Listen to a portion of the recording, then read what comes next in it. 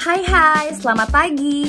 Biar pagimu makin semangat, kita sarapan informasi dulu yuk di Narasi Pagi bersamaku Deborah Mulia. Pertama, ada update kabar WNI di Ukraina dan reminder Jokowi ke TNI Polri. Dan ini nih yang ditunggu. Tahun ini bisa mudik lebaran. Ada juga dugaan kasus pelecehan seksual oleh polisi di Sulsel dan BTS yang bakal gelar konser virtual. Siapa nih yang udah gak sabar nonton? Ini dia selengkapnya.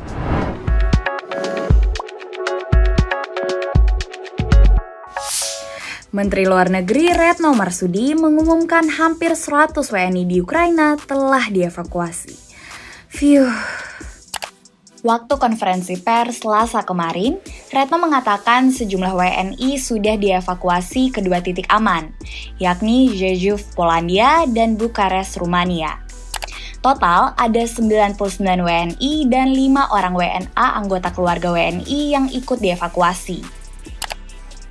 Retno mengatakan setelah dievakuasi dan aman di dua titik tersebut, maka langkah selanjutnya adalah penjemputan dengan pesawat untuk kembali ke Indonesia. Tapi kapan pemulangan WNI ke tanah air ini masih belum dipastikan. Selain itu, masih ada puluhan WNI yang berada di Ukraina karena beberapa alasan.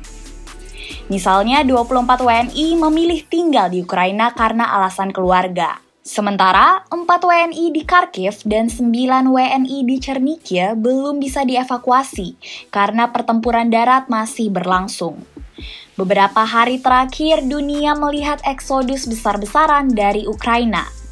Update terakhir UNHCR mengungkap sejak Kamis lalu, 520 ribu pengungsi sudah melarikan diri dari Ukraina ke negara-negara tetangga. Komisioner tinggi UNHCR Filippo Grandi menyebut eksodus ini terbesar sejak Perang Balkan. As we speak, there are 520,000 refugees from Ukraine in neighboring countries.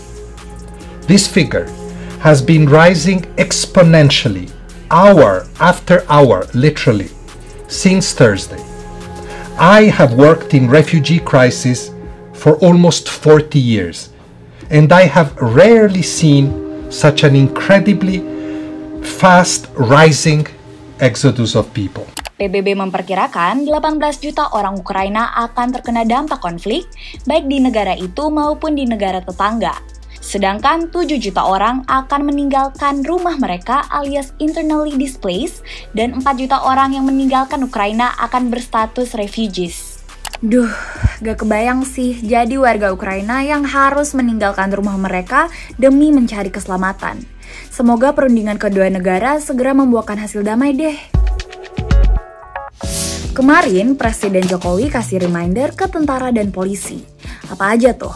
Jokowi bilang kalau TNI Polri gak bisa ikut dalam urusan demokrasi. Perintah ini disampaikan Presiden pada pembukaan rapat pimpinan TNI dan Polri tahun 2022 di Mabes TNI Cilangkap 1 Maret 2022. Tidak bisa yang namanya tentara, yang namanya polisi, itu ikut dalam urusan demokrasi di tentara tuh nggak ada yang demokrasi.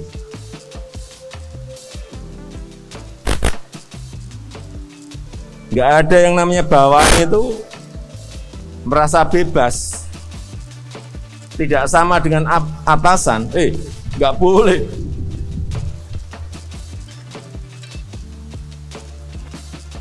Dengan berbicara masalah demokrasi tidak ada yang namanya di tentara di kepolisian nggak ada. Sehingga ini ya seperti ini harus mulai dikencangkan lagi supaya masyarakat itu melihat dan bisa kita bawa juga ke arah kedisiplinan nasional. Selain itu, Jokowi juga ngingetin ke istri-istri aparat untuk gak sembarang undang penceramah. Ini bukan hanya bapak-bapak atau ibu-ibu yang bekerja, tetapi yang di rumah juga sama. Hati-hati. ibu-ibu kita juga sama. Kedisiplinannya harus sama. Nggak bisa. Menurut saya nggak bisa ibu-ibu tuh memanggil misalnya ngumpulin ibu-ibu yang lain, memanggil penceramah.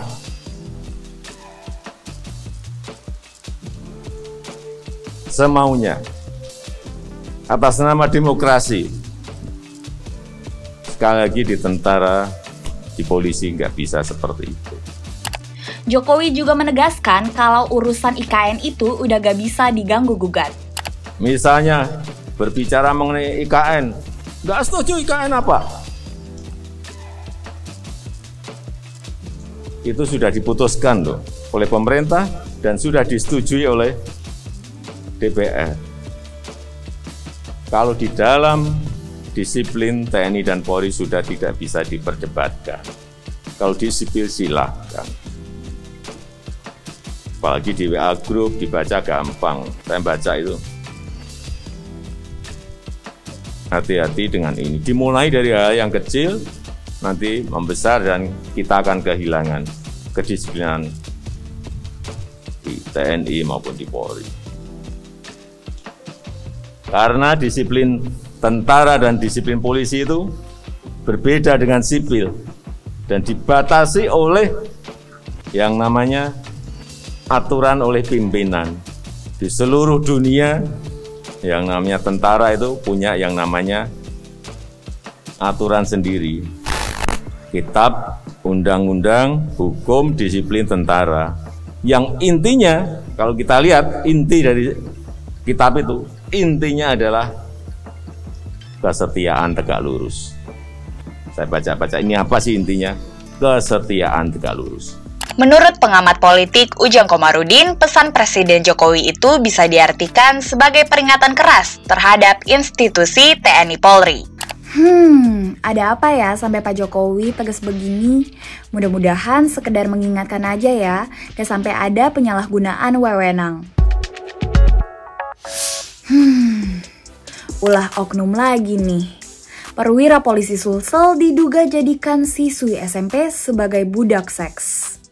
AKBPM diduga melakukan pencabulan kepada siswi SMP berumur 13 tahun. Saat ini, Propam Polda Sulsel sedang mengusut kasus tersebut dan mengatakan sudah mendapat hasil visum korban. Sementara, AKBPM sudah ditangkap di rumahnya di Kabupaten Goa, Sulawesi Selatan pada Senin 28 Februari 2022 lalu. Berdasarkan penuturan kakak kandungnya korban, AI, adiknya bekerja sebagai asisten rumah tangga di rumah AKBPM dan selama lima bulan ia dijadikan budak seks. AKBPM sudah mulai mencoba memperkosa korban ketika korban baru bekerja selama tiga hari. Korban pun menolak. Pemerkosaan ini berlangsung sejak Oktober 2021 hingga Februari 2022. Dalam satu bulan, korban mengaku bisa tiga kali diperkosa. AI mengatakan adiknya diiming-imingi HP, rumah, dan dibiayai sekolah. Kabit Humas Polda Sumsel, Kombes Komang Suartana mengatakan bahwa AKBPM sudah dinonaktifkan. Waduh, AKBP loh, gak malu apa pak sama pangkat? Harusnya kan jadi pelindung dan pengayom masyarakat. Kok malah jadi gini? Bulan depan udah puasa, terus lebaran. Ada yang kangen mudik? Gimana ya peluangnya tahun ini? Beberapa hari lalu, Menkes Budi Gunadi Sadikin mengatakan kalau lebaran tahun ini bakal bisa dirayakan berbeda dari tahun sebelumnya. Dan lebaran kali ini kita bisa hadapi dengan berbeda dibandingkan lebaran-lebaran sebelumnya. Dengan kondisi bahwa harus dilakukan percepatan vaksinasi dosis kedua. Biar mudik bisa kejadian, pemerintah mendorong percepatan vaksin agar target 70% vaksin bisa tercapai sebelum musim libur lebaran. Epidemiolog Diki Budiman mengatakan animo mudik tahun ini semakin besar. Jadi, kalau dilarang pun akan sulit. Diki pun menilai mudik dapat dilakukan tapi dengan syarat. Apa aja? Yang paling utama, tren kasus COVID-19 di daerah sudah melandai, dan pemudik juga sudah divaksinasi lengkap, serta patuh prokes. Jika prokes dilakukan, maka saat puasa akan relatif tenang. Dari target sasaran vaksinasi sebanyak 208.265.720, vaksinasi ke-1 sudah mencapai 190.976.834. Sementara dosis kedua sebanyak 144.505.806. Jumlah vaksinasi booster atau dosis ketiga masih tertinggal jauh, baru 10,2 juta orang.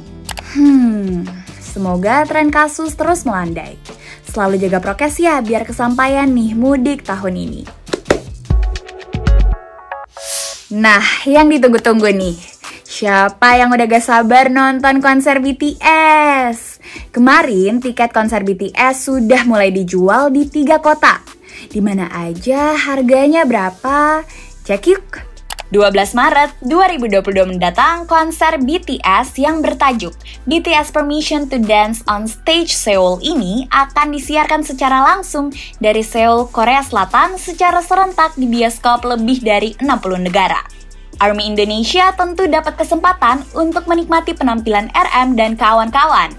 Aksinya ini bisa ditonton di tiga bioskop, yakni CGV Paris Van Java Bandung, CGV Grand Indonesia Jakarta, dan CGV BG Junction Surabaya.